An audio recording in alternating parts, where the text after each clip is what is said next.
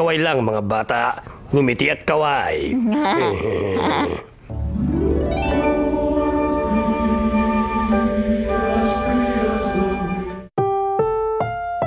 Ang susunod na programa ay rated PG. Patnubay at gabay ng magulang ay kailangan sa mga batang manonood.